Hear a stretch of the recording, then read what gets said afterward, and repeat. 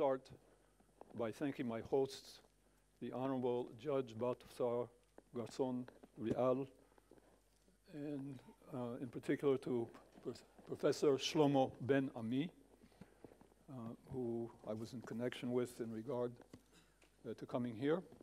I appreciate very much your inviting me and giving me the opportunity today to share some thoughts about universal jurisdiction. I want to uh, talk about some general background uh, of contemporary universal jurisdiction and, and then make some remarks about, about how I view the possibility of making a universal cómo entiendo yo que podemos hacer que la jurisdicción universal more sea más sólida y gane presencia en nuestras sociedades contemporáneas. Empezaré refiriéndome y explicando que soy abogado defensor y por lo tanto suelo trabajar con gente acusada de crímenes y delitos muy graves. Yo creo que todos los acusados tienen derecho a una buena representación jurídica y también a la debida diligencia. Hay que tener en cuenta que siempre soy consciente en las salas jurídicas, en las salas penales, de que se pueden producir miscarriage of ataques a la justicia. Los ataques a la justicia serían aquellos casos en los que una persona inocente acaba con una condena o cuando una persona que sí que es culpable recibe una condena excesiva para el delito que ha cometido. Evidentemente creo que hay salas penales de calidad y me parece que es un lugar básico y esencial para que se ejerza la jurisdicción universal. Pero también he de decir que parto de la idea de que los procesos penales, incluso en tribunales y salas de calidad, están sujetos a posibles errores, con lo que nuestra obligación no es solo crear tribunales y hacer que tengan una jurisdicción, sino garantizar que hay unas barreras suficientes a las condenas para que esos ataques a la justicia se minimicen. Hemos de ser conscientes de que incluso los mejores regímenes jurídicos no podrán eliminar absolutamente todos los errores que pueden producirse en los fallos. Por eso los tribunales deben ejercer esa jurisdicción local y universal de la mejor manera posible. Yo enfoco esta idea de jurisdicción universal con un enfoque realista, conscientes de que la teoría legal y jurídica no siempre se traduce en la práctica, por lo que hay que tener mucho cuidado cuando sometemos a la, a la gente, a los ciudadanos, a la jurisdicción y debemos tener en cuenta esos posibles ataques contra la justicia. Esta es una declaración personal, es mi opinión y yo creo que esto va a quedar claro si revisan los comentarios que ya he realizado o cuando explique hacia dónde se dirige, en mi opinión, la jurisdicción universal. Evidentemente sabemos que la jurisdicción universal en estos momentos surge de un compromiso, un compromiso en el que queremos que los que han cometido actos contra la humanidad se, sean los que respondan. La aparición de esta, universión ju- eh, de esta jurisdicción universal es un intento por compensar por los crímenes de la Segunda Guerra Mundial. Sabemos que la comunidad internacional reconoce implícitamente que algunos estados son demasiado débiles o que quizás por motivos políticos no están motivados a juzgar a aquellos sospechosos de haber causado y cometido crímenes de lesa humanidad. Yo creo que en un foro como este, y en España sobre todo, no es necesario resaltarlo. Muchos de los que están aquí son expertos en este sentido y no creo que mi contribución tenga que ser una lista exhaustiva de todos los casos que se han llevado adelante teniendo en cuenta la jurisdicción universal en Europa. Jurisdiction took root in the early 1990s and expanded La jurisdicción universal for about 10 years. and empezó en los años became 90, independent. después se amplió en la década siguiente y luego se ha visto expuesta a la presión política en Bélgica, Estados Unidos, Reino Unido. Hemos visto cómo se han aprobado nuevas leyes, una nueva legislación que la limita y la reduce. En estos momentos hemos de decir que la jurisdicción universal se ve sometida a una gran presión negativa y no nos queda claro cuál es su futuro. Yo creo que aquí estamos reunidos precisamente para intentar entender cómo uh, enhance vamos a poder mejorar en el futuro la eficacia de la jurisdicción universal y por lo tanto tenemos que pensar qué es lo que podemos hacer a favor de la jurisdicción universal para poder reforzarla. Rápidamente o brevemente, podemos referirnos ahora a la ley belga del 93, in which we know that there was donde sabemos que se contemplaba la jurisdicción universal en caso de crímenes de lesa, de lesa humanidad o crímenes de guerra. Ah, hubo distintos acusados. En 2003 Limiting the court's se cambió, se enmendó, limitando esa jurisdicción únicamente a los crímenes de guerra, donde el acusado reside o donde la víctima ha vivido en Bélgica durante tres años o donde hay una obligación a causa de un tratado. Es decir, aquí están deshaciendo parte del camino recorrido en jurisdicción universal, mientras que en el pasado sí que habían dado mucha publicidad a las distintas instrucciones, por ejemplo, en el caso contra Ariel Sharon. Y en el caso de Shah y Shatila. This case, as others in universal jurisdiction, the Sharon case, En el caso de Sharon, por ejemplo, también hay que decir que se tuvo que detener el caso por inmunidad para jefes de Estado. Enacted legislation in 1985, as En España, en el 85, como ya saben,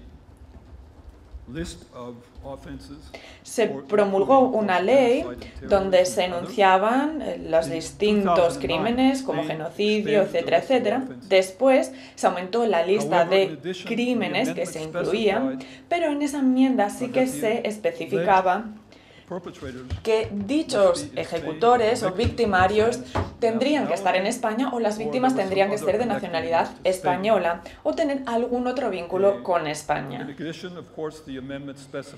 Además, en esa enmienda se especifica que podría haber enjuiciamientos reali- en otros lugares de España que se anularían.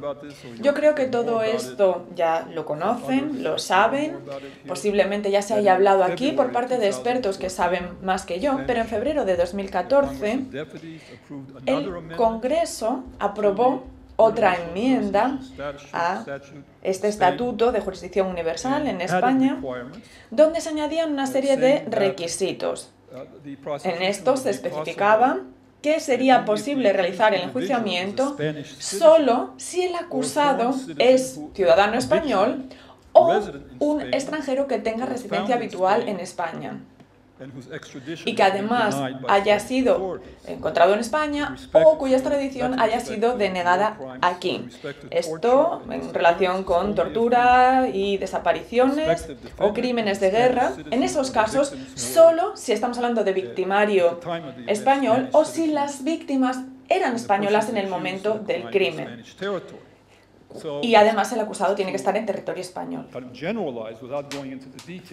No voy a entrar en esto con detenimiento, pero sí que se añadió un requisito de ciudadanía precisamente en 2014. En resumen, tal y como yo lo veo, en este momento hay unos 12 casos pendientes, como poco, ante los tribunales españoles. Y hay todavía muchas preguntas sin responder sobre la posible ejecución de esta jurisdicción y también controversia jurídica sobre cómo se aplicará esta ley. Pero sí que puedo decir, a modo de conclusión general, y en relación con el caso de España, Bélgica y también Reino Unido, y es lo siguiente. Estos cambios han restado autoridad a la jurisdicción universal en gran medida. Y me gustaría citar a un colega que escribió a este respecto, profesor David Lubin, de la Facultad de Georgetown, Facultad de Derecho, que ya se ha referido a esto en el pasado nos decía que existe esta propuesta. El impulso del Código Penal Internacional parece desaparecer a lo largo de una historia de éxito. Después de haber creado los juicios de Tokio, de Nuremberg, después de la confirmación con los estatutos de Roma, esto está desapareciendo. Esto es lo que nos comentaba el profesor Lüben. Y los distintos relatores y observadores nos hablan de un fenómeno y es el colapso de esta jurisdicción universal, la aparición de la inmunidad y hay otros temas candentes en todo el mundo. Estamos hablando de presiones en tribunales penales en África, frustración además entre aquellos que apoyan el concepto de legislación penal internacional. Al mismo tiempo, el profesor Lüben se refiere a una investigación realizada por una investigación, como digo, de Máximo Langen, que creo que está aquí con nosotros, o por lo menos convocado. Y de acuerdo con esta investigación hemos visto que de mil querellas de jurisdicción universal en estos momentos, solo 32 han acabado en juicio. Teniendo todo esto en cuenta, me gustaría, a continuación, explorar tanto desde el punto de vista teórico como desde el punto de vista, digamos, sociológico, jurídico, uh, ¿Cómo podemos plantearnos qué podemos hacer con relación a la jurisdicción universal en este siglo XXI? Para encontrar un punto de unión entre lo que uh, llegó a ser una presencia robusta en su momento y lo que tenemos ahora, esas enmiendas de origen político donde los países que lideraban la jurisdicción universal la están limitando. Podemos pensar que esto es una fase dentro de una inquietud general y dinámica sobre la jurisdicción universal. Evidentemente todavía no podemos eh, decir que esto sea el fin del asunto. Más bien se trata de ver hacia dónde podemos ir y cómo podemos llegar ahí, como ciudadanos, como profesionales, jueces, abogados, activistas, tenemos que participar de manera activa. No quiero extenderme en exceso, no tengo mucho tiempo, así que voy a saltarme algunas de las partes que tenía preparadas, ya que en realidad quiero llegar al núcleo de mis comentarios relativos al futuro de la jurisdicción universal. Todos sabemos, claro está, que la jurisdicción universal en su forma más pura, en su esencia, marca principalmente una condición para que sea aplicable. Y nos referimos a la gravedad del crimen. Genocidio, crímenes de guerra, crímenes de lesa humanidad. Sin embargo, siempre queda esa duda de qué se incluye. En cualquier caso, en esencia, la jurisdicción universal incluye muy pocos requisitos procesales más allá de la gravedad. Como digo, casi no hay requisitos aparte de la gravedad del crimen.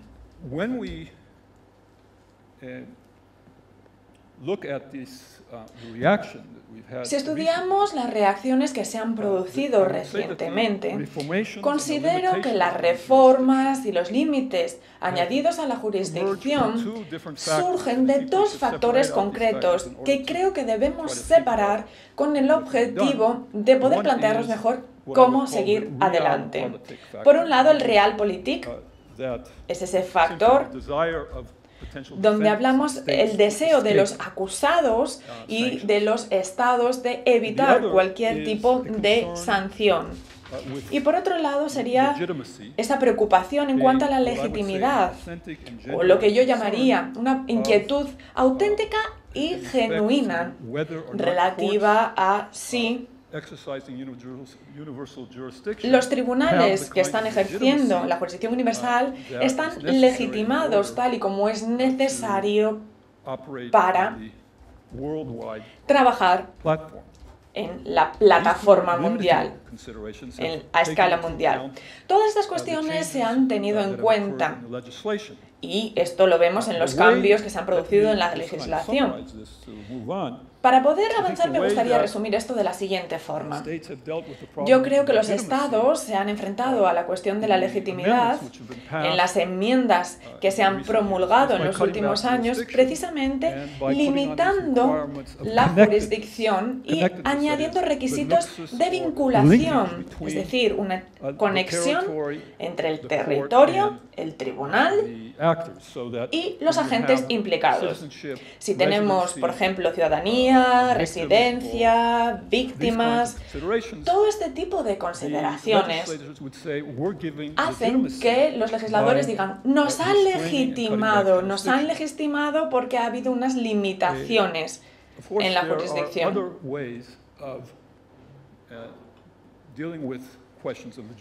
También hay otras maneras de afrontar temas eh, relativos a la legitimidad y podemos hablar de ello. Tengo la siguiente pregunta sobre la cuestión procesal de la jurisdicción universal. Precisamente me refiero a si la idea de un tribunal que pueda actuar más allá de las fronteras de su territorio donde tiene autoridad y en relación con personas que tengan poca o ninguna vinculación con dicho territorio, lo que me pregunto es si esa idea viene a estar opuesta en esencia a las comunidades legales que tienen la responsabilidad de crear el tribunal. Explico. Entre los jueces, los abogados, en la comunidad jurídica, se considera que al ejercer jurisdicción del tipo de la que estamos hablando aquí, se opone a la naturaleza de las instituciones jurídicas y legales y para ello me gustaría dar un ejemplo, donde vemos que la respuesta es no. No existe un consenso generalizado que nos diga que ejercer jurisdicción a través de tribunales se oponga a esa noción básica de los preceptos jurídicos reconocidos por la comunidad internacional o comunidad de países que se lo pudieran plantear. Este ejemplo procede de Estados Unidos en cuanto a las prácticas corruptas. Es una ley que puede que algunos de ustedes conozcan, otros no, simplemente es parte de la legislación estadounidense donde se concede jurisdicción a los fiscales para que investiguen y enjuicien casos de cohecho que se produzcan fuera de los Estados Unidos.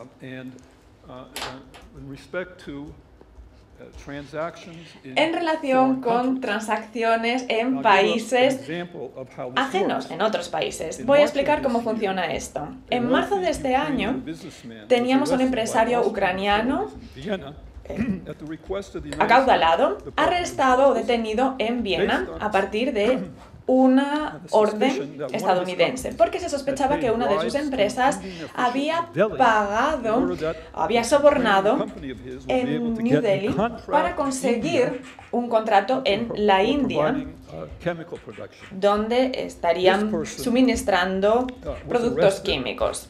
Se le detuvo, estuvo en la cárcel en Austria y ahora se le ha escarcelado, se ha liberado, a condición de que se quede en Austria, teniendo en cuenta que se le ha impuesto una fianza millonaria. En este caso, y quiero resaltarlo, el crimen, el delito se produjo en la India. El supuesto autor era ucraniano. y jamás había pisado los Estados Unidos. No hubo un daño directo a estado, en Estados Unidos.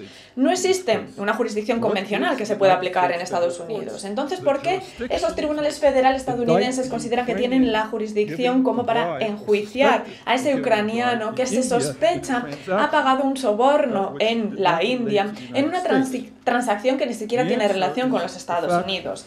La respuesta es el hecho de que para hacer una transferencia bancaria desde Ucrania a la India, porque esos fondos estaban en dólares y la transferencia tiene que pasar por Nueva York, de manera que ahí los Estados Unidos consideran que ya tienen jurisdicción para arrestar, para extraditar y para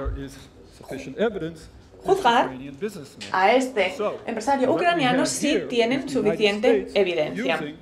Estados Unidos, en este caso, está utilizando algo que parece jurisdicción universal. ¿Qué podemos deducir de todo esto? Evidentemente estos son los Estados Unidos, no sé si podría aplicarse a otros países, pero en cualquier caso los abogados, los jueces estadounidenses nos dan un ejemplo sobre cómo podemos interpretar la jurisdicción universal.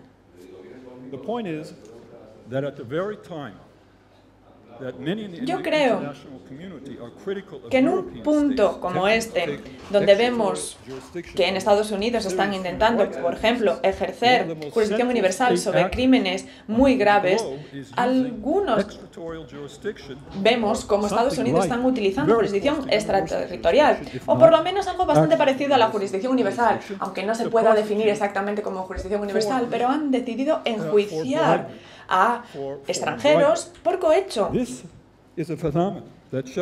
Es un fenómeno que nos demuestra que en la sociedad contemporánea la idea de que los tribunales ejerzan esa jurisdicción frente a extranjeros que no tienen vínculo alguno, no tienen conexión alguna con el Estado instructor, es una forma de jurisdicción que por otro lado está ampliándose, está creciendo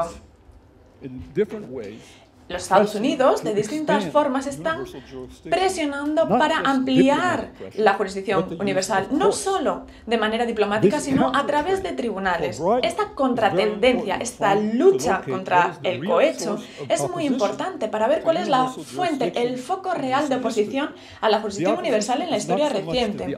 La oposición no se centra tanto en ejercer jurisdicción frente a extranjeros, sino más bien cuando estamos hablando únicamente de violaciones de los derechos humanos. Hablemos ahora de la legitimidad. En este caso, uh, hemos visto que hay distintas fuentes, enfoques de la legitimidad. Por un lado, estamos hablando de, eh, de buscar chivos expiatorios, tal cual, para evitar sanciones pero también hay que ver la índole del proceso en sí mismo. Sabemos que esos tribunales tienen que enfrentarse y enjuiciar cuestiones de eh, legitimidad a la hora de enjuiciar los crímenes. Tenemos que ver que tanto el acusado como su comunidad tienen que aceptar la jurisdicción del tribunal. Personalmente creo que los estados tienen, pueden tener y deben tener algún tipo de jurisdicción universal. Sin embargo, el mismo principio justificante de la jurisdicción y la capacidad para respetarla suponen que tenemos que prestar atención al concepto de la legitimidad. Sin ello, Cualquier realista sabrá que se pone en peligro la jurisdicción misma del tribunal.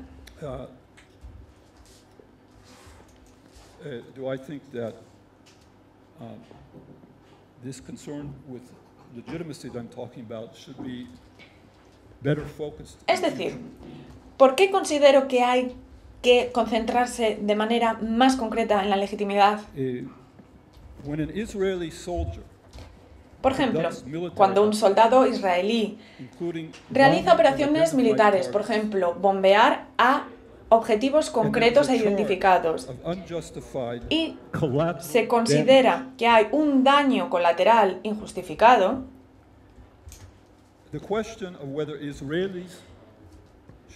la cuestión de si el israelí debería estar sometido a la jurisdicción en caso de que sea una opción.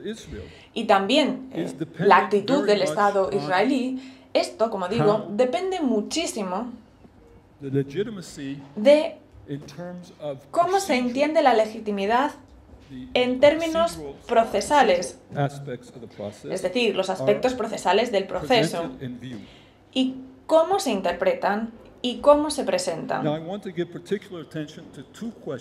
Quisiera centrarme en dos cuestiones concretas sobre garantías procesales, que es importante para garantizar la legitimidad de estos procesos y que yo creo que han pasado desapercibidas hasta el momento.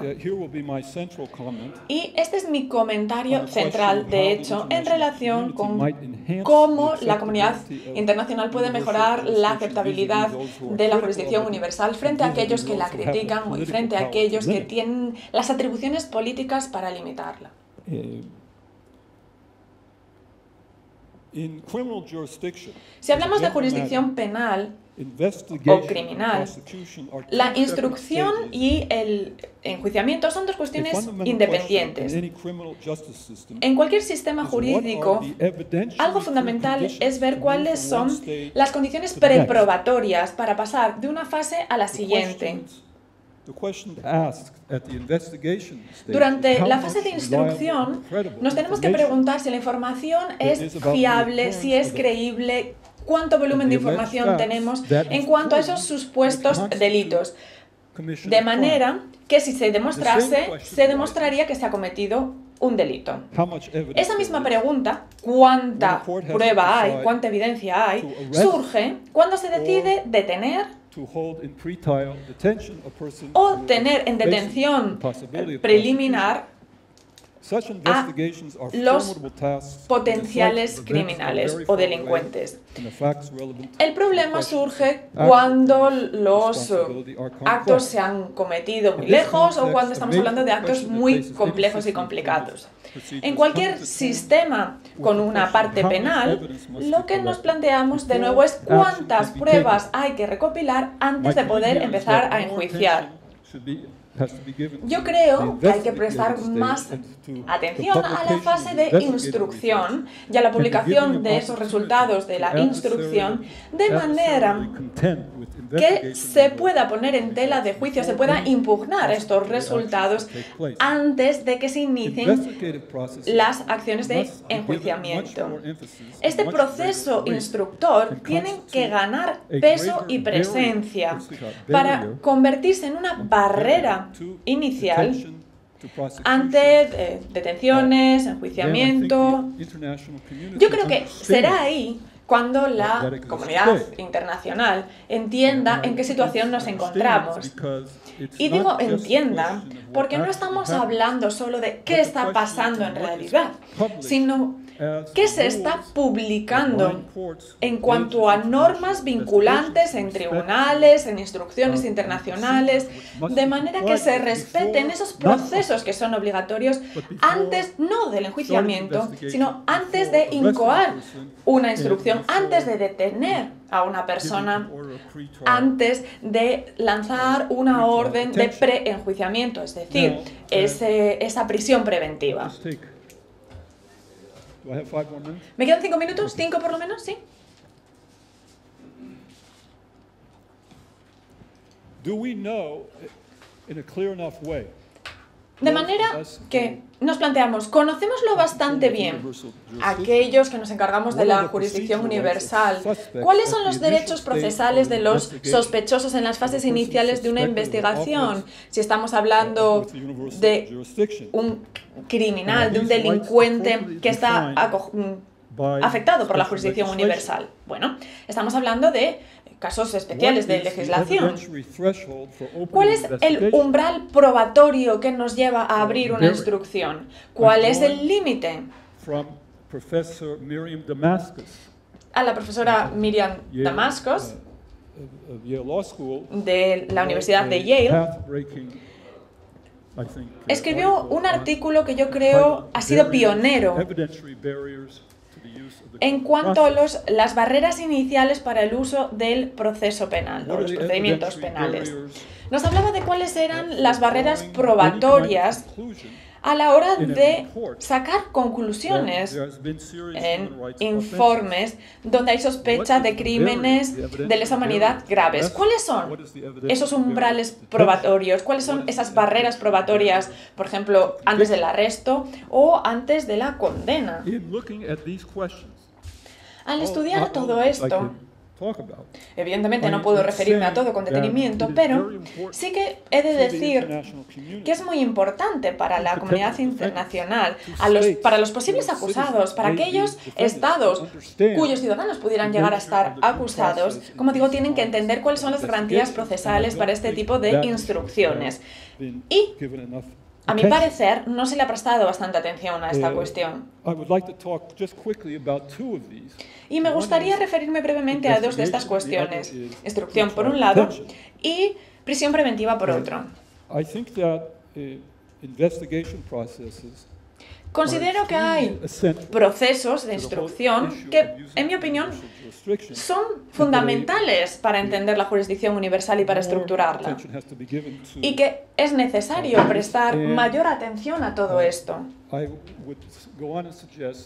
Es más, me atrevería a sugerir que, de hecho, deberíamos entender la instrucción como una especie de elemento potencialmente autónomo, independiente, que nos permitiría aprovechar la jurisdicción universal.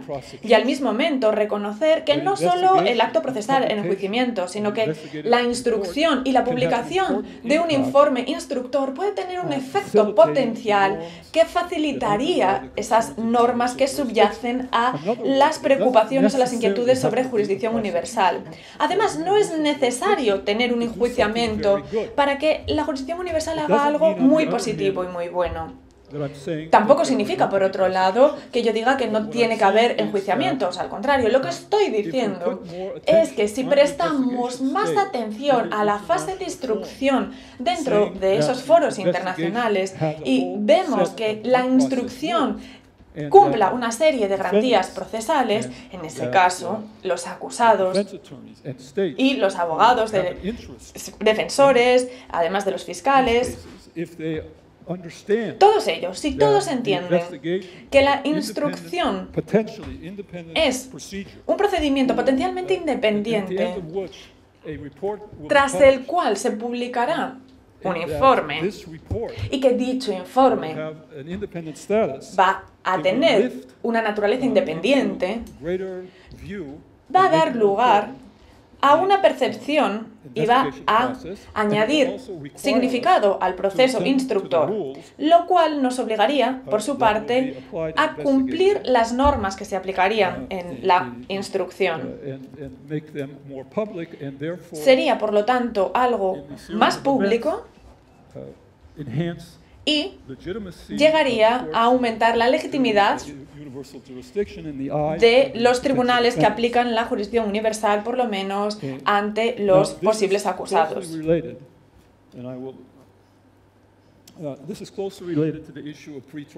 Esto tiene mucho que ver con el tema de la prisión preventiva.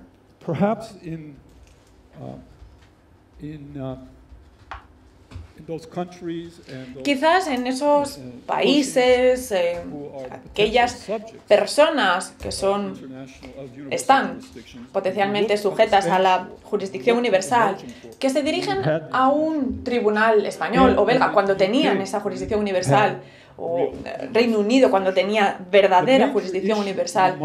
La principal cuestión, y por lo menos esto sí que lo digo eh, en relación con los israelíes, pero también tendrá que ver con otros, es la cuestión de esa detención. Pueden viajar una vez detenidos porque viajan, se les detiene y están en la cárcel durante un tiempo, mientras se lleva a cabo la instrucción, mientras se toma esta decisión procesal. Esta idea que te puedan detener y que se produzca una instrucción o un enjuiciamiento posteriormente. y sin embargo que no se les conceda fianza, que no tengan prisión condicional, es algo muy negativo. Me podrían decir que esto es solo un aspecto de la jurisdicción universal, pero es un factor muy negativo a la hora de conseguir, digamos, aceptabilidad o aceptación social y jurídica para la jurisdicción universal. Por eso, nosotros hemos de preguntarnos todo esto. Tenemos que saber cuáles son las normas concretas de la previsión preventiva. Hace poco estaba hablando precisamente de esto, de la prisión preventiva.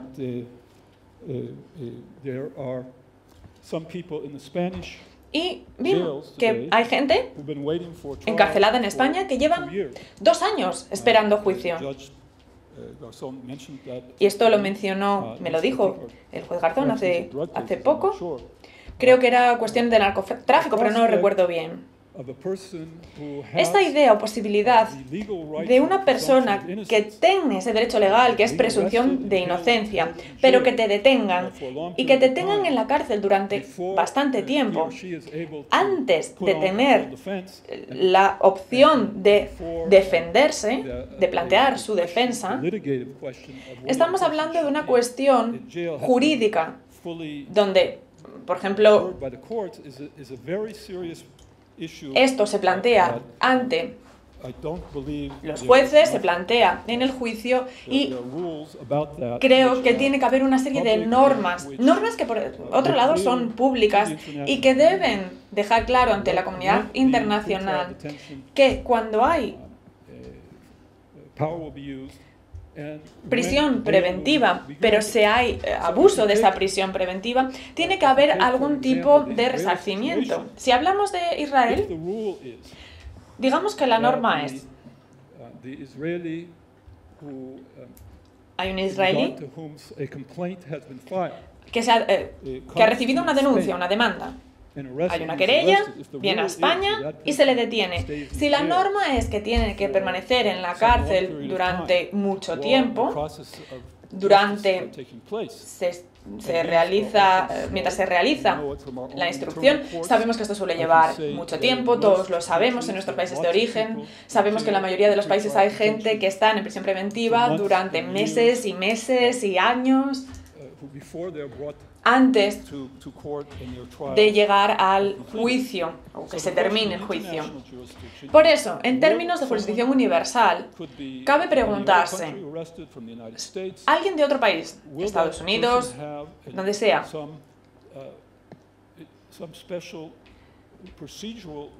¿Existe un derecho procesal especial para que se le pueda enviar de vuelta a su país de origen, siempre con una serie de condiciones de devolución, etcétera?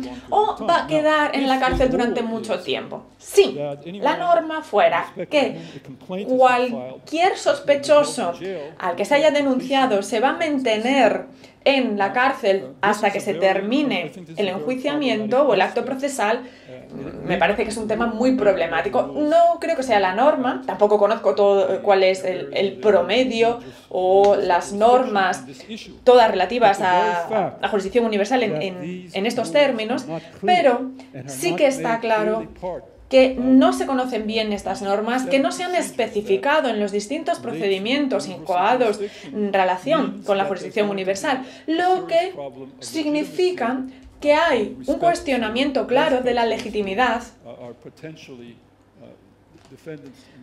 por lo menos en eh, aquellos países que han sido acusados o cuyos ciudadanos han sido acusados. A modo de conclusión me gustaría añadir lo siguiente. Creo que la instrucción tiene que tener en cuenta que hay una serie de implicaciones en cuanto a legitimidad en relación con la instrucción, en relación con ese entorno donde tiene que tener una índole independiente, tiene que ser independiente. La instrucción, la publicación del informe, las reclamaciones o infracciones de derechos humanos, todo esto puede permitir la mejora de la defensa de los derechos humanos, pero necesitamos tener esas normas procesales desde el momento que empieza la instrucción y tenemos que saber y tener claro qué se va a hacer durante la instrucción. Otra cuestión, eh, a la que también me he referido es la prisión preventiva. Y es que necesitamos tener un régimen donde los acusados, que se supone, se les presupone la inocencia, cuando hay una denuncia, cuando se inicia una instrucción, no podemos privarles de sus derechos. Y eso todos lo sabemos y todos lo aceptamos, pero ese mensaje en la comunidad internacional sobre hasta qué punto la jurisdicción universal protege esos derechos, en mi opinión, no está lo bastante clara. Y por eso, para terminar, me gustaría compartir con todos ustedes el siguiente dilema, compartido posiblemente por muchos de los aquí presentes. Sabemos bien que todo conflicto armado, que todo conflicto de supervivencia, y al fin y al cabo hay muchos de estos en todo el mundo, acaba con una serie de abusos extremos exagerados y es algo que no podemos ignorar y no debería haber impunidad para los responsables de todos estos abusos. Este es un compromiso, un compromiso que muchos de nosotros en esta sala hemos abanderado. Pero al mismo tiempo tenemos un compromiso claro para proteger a los posibles sospechosos, los posibles acusados. Es un compromiso firme para protegerlos frente a posibles abusos en la justicia penal que se producen en todos los países del mundo. Y si tenemos este doble compromiso, que sin duda yo tengo, tenemos que encontrar una manera para afrontar y para comprometernos con ambos al mismo tiempo. Quizás es algo paradójico, pero cuanto mayores sean esas barreras procesales para tanto la instrucción como el enjuiciamiento y la detención, más fácil será tener una comunidad internacional o al menos unos estados donde se acepte esa jurisdicción universal.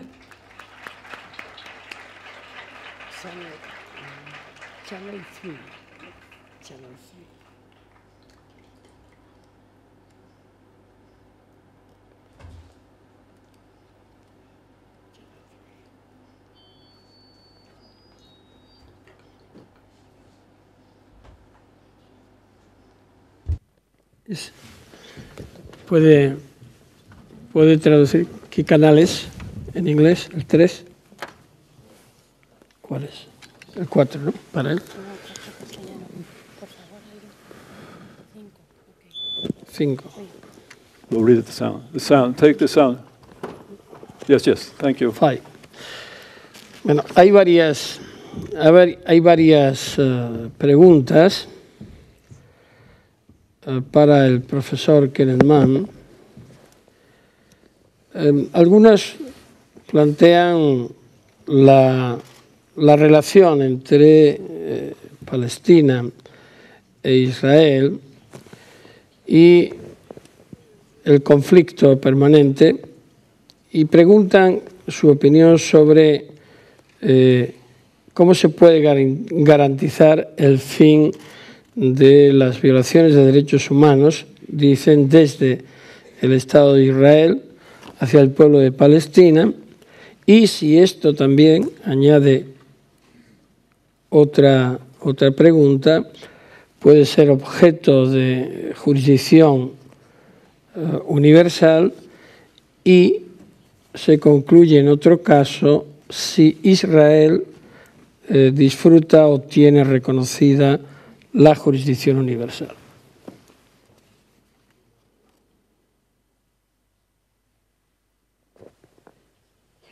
No, es, es ok.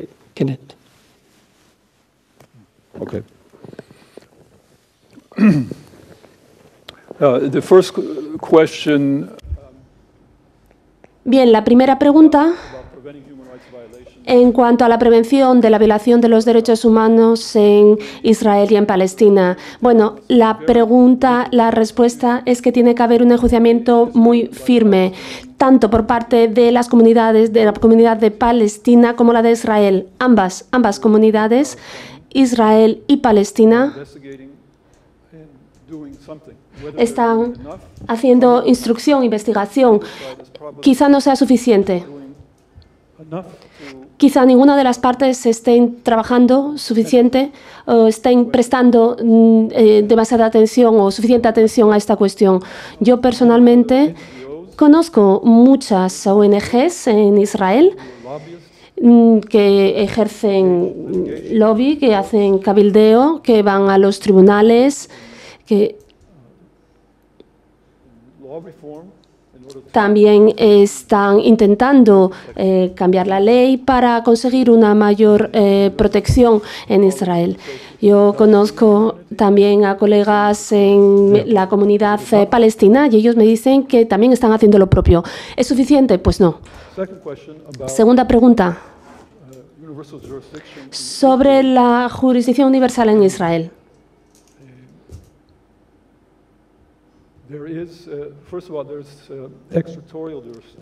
En primer lugar, nos encontramos con una jurisdicción ah. extraterritorial que no es universal, la universal, pero bueno, para ofrecerles un poco de contexto, el derecho o el Código Penal de Israel.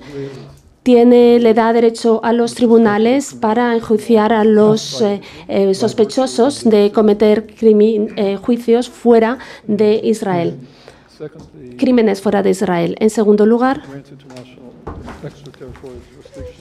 esta eh, jurisdicción extraterritorial se permite enjuiciar eh, a los eh, israelíes que hayan cometido crímenes fuera del país. Es decir, no es una jurisdicción universal y aquí tenemos, un, tenemos el Código Penal que también contempla el enjuiciamiento en casos de tortura. Y resulta, es discrecional, así como eh, todos los poderes eh, en, en, Israel. Yo no conozco ningún caso donde ningún aspecto, donde se haya utilizado la jurisdicción universal en Israel. Hay una pregunta que se refiere a la actitud de, Estados Unidos que se autoconsidera legitimado para actuar en muchos casos que afectan a Estados Unidos, pero también que no lo hace en otros casos y sobre todo que no atiende los requerimientos de otros eh, tribunales extranjeros cuando investigan a personas de Estados Unidos. Añado yo que en el ejemplo que ponías, respecto de los jueces federales que entienden que el paso de una transferencia bancaria es punto de conexión suficiente para considerar que Estados Unidos puede tener competencia en un caso de corrupción o de cohecho. Sin embargo, no reconoce, eh, por ejemplo, que un tribunal, como es el caso de España, que investiga torturas en Guantánamo o crímenes de guerra por la muerte de un, de un periodista español en la guerra de Irak, a disparos de militares norteamericanos, se ha reconocido. Es decir, esa contraposición de, por una parte, extender la jurisdicción, en el ejemplo que ponías, y esta otra, negando cualquier posibilidad de interferencia en crímenes universales en ambos casos.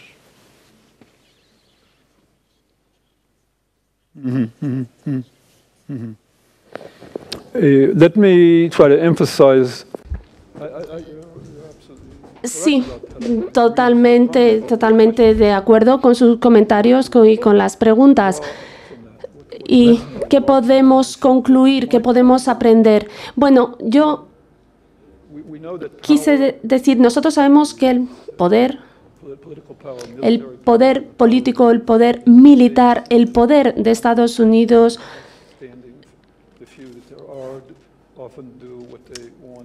son, bueno, nos encontramos con países que hacen lo que quieren pensando que esa es la mejor manera de hacerlo con independencia de las normas que existen en otros lugares.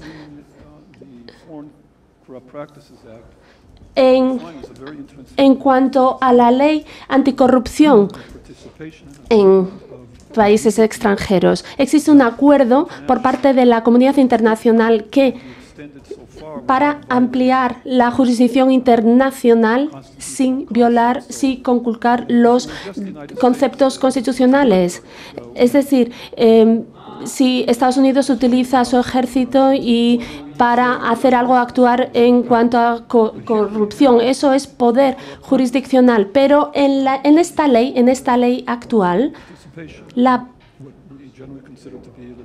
la participación es algo legítimo eh, dentro del sistema eh, de tribunales jurídicos, donde los jueces,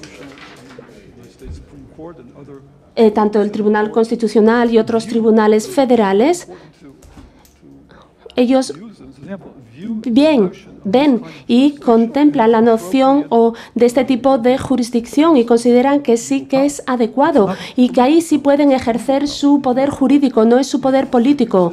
Es decir, que ellos lo pueden utilizar, lo pueden utilizar para prácticas de corrupción dentro de este contexto. Entonces, si se utiliza en este contexto, se puede extrapolar y se puede llevar a la práctica de derechos humanos. Bueno, por supuesto, esto no es lo que ha hecho Estados Unidos, pero yo pienso que sí podría ser así. Otra cuestión es si considera que la, la visión que eh, Estados Unidos tiene de la jurisdicción de la Corte Penal Internacional, no aceptando es eh, los, la existencia de la misma, si es similar también a la que Israel plantea respecto de ese organismo judicial y por qué razón tanto uno como otro, además de otros países, se niegan a aceptar ese Tribunal Internacional para crímenes eh, como los de genocidio, lesa humanidad, de guerra.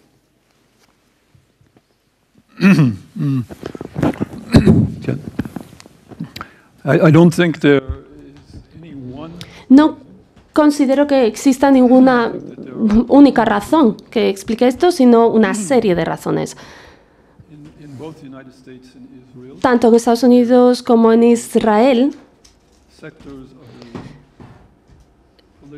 nos encontramos con sectores políticos, sectores gubernamentales,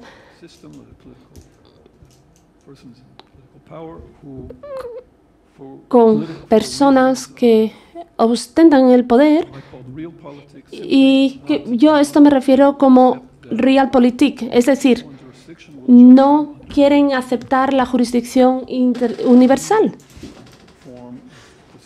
y no quieren buscar ninguna forma de enjuiciamiento. Es una manera de rechazar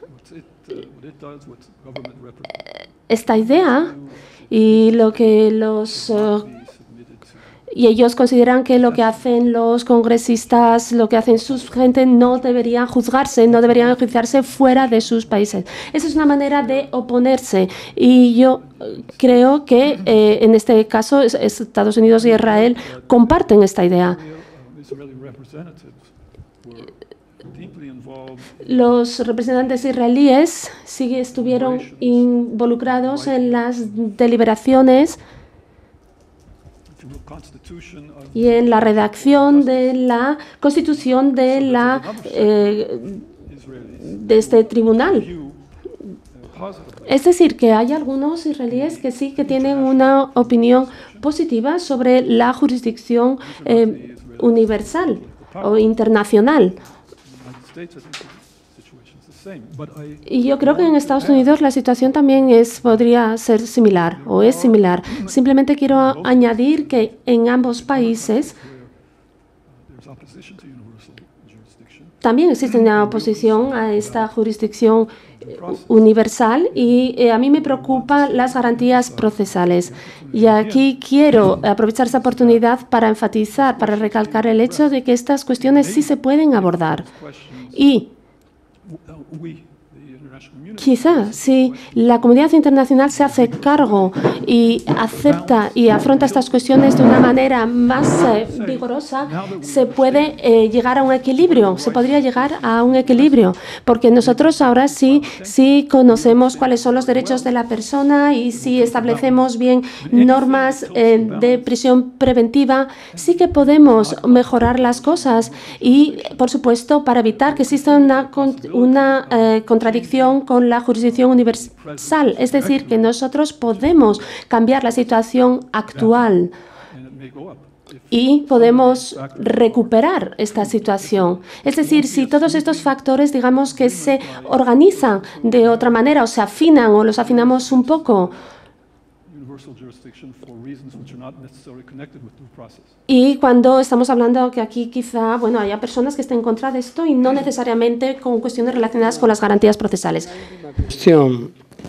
Em, ¿Por qué cree, profesor, que hay más acuerdo entre los países en aceptar el principio de jurisdicción universal basado en la persecución de crímenes transnacionales, como pueda ser el narcotráfico, el terrorismo incluso, u otros, y sin embargo no hay acuerdo o los países, en la gran mayoría, se niegan a la aplicación de ese principio cuando se trata de los crímenes más graves, genocidio, lesa humanidad, crímenes de guerra, por qué hay un consenso o empieza a haber un consenso en el primer caso y prácticamente un disenso absoluto en, el, en este segundo, más grave. Uh, I'm, I'm sorry, I didn't quite uh, understand the question. ¿Por qué existe acuerdo o un gran acuerdo en la aplicación del principio de jurisdicción universal a crímenes eh, como el narcotráfico, ah, actos terroristas, corrupción, incluso lavado de activos, y sin embargo no hay acuerdo respecto a los crímenes más graves y se produce una autoprotección de impunidad.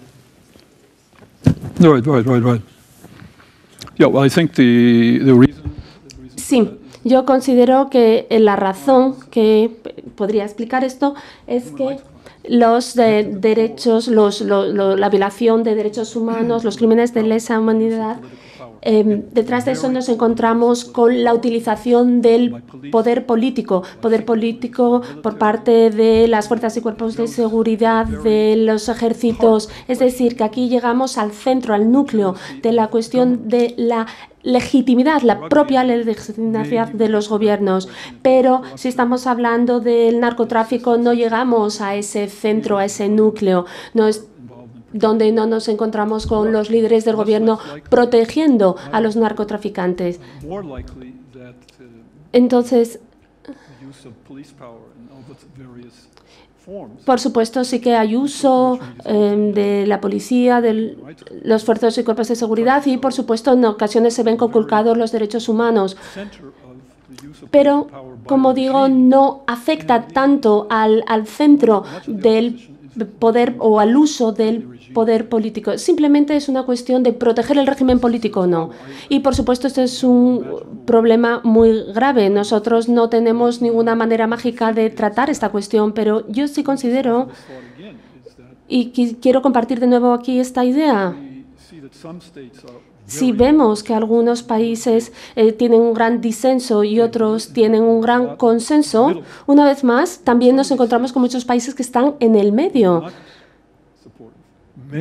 Y quizá esos países que no están de acuerdo, que tienen ese disenso, pueden cambiar su punto de vista si nosotros abordamos aquellas cuestiones que necesitamos abordar. Es decir, necesitamos fortalecer esta protección que se percibe de los ciudadanos y la que se ofrece en la jurisdicción universal. Y cuando yo hablo de protección me estoy refiriendo a yo considero que sí existe un miedo real entre los ciudadanos o los eh, países que tienen miedo, eh, que quieren proteger a sus ciudadanos, a sus nacionales. Es una cuestión de miedo, es una cuestión realista. No estoy hablando de una cuestión tan teórica, sino realista. Podemos abordar esta cuestión cuando estamos hablando de la detención, de esta, de esta prisión preventiva de, estos, de los sospechosos. ¿Cómo podemos calmar esa ansiedad? Esa ansiedad que se transforma y pasa a los poderes políticos, poderes políticos de algunos gobiernos que sí critican o que no están de acuerdo con la jurisdicción universal, porque aquí la jurisdicción no es una expresión de la protección de los regímenes, sino que se trata de cómo, cuando permito que cuando permito que mis ciudadanos, mis ciudadanos eh, tengan las, eh, estén bien protegidos como acusados. Muchas gracias.